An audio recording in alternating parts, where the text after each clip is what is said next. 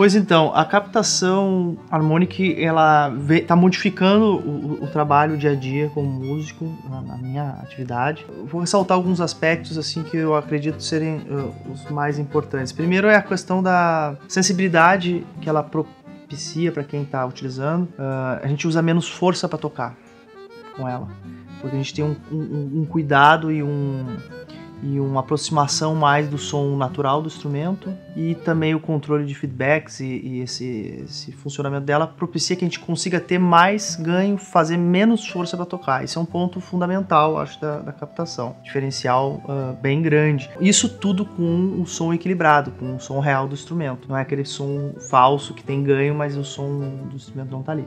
E o outro ponto que eu considero muito importante é a questão da captação, gravação. Uh, principalmente eu toco uma música que ela é feita ao vivo, uh, com todo mundo junto, e é, muitas vezes é captada todo mundo junto. Ela, o choro acontece muito na hora. Então, é, é, se fazia necessário uma captação que ela captasse o som do violão natural, porém sem vazamento. E é o que a harmônica consegue fazer. Eu consigo tirar um som de violão uh, natural, praticamente sem nenhum vazamento externo. Eu consigo trabalhar com instrumentos que são barulhentos em falta. E o som do, o som do violão fica mantido, possibilita uma mix, uh, uh, né? Mix, todo o tratamento de som depois integralmente. E, sem dúvida, a gente consegue equilibrar equilibrar isso na gravação e no ao vivo, por ter essa, uh, o canal praticamente separado, né? A gente consegue ter a mix total dela.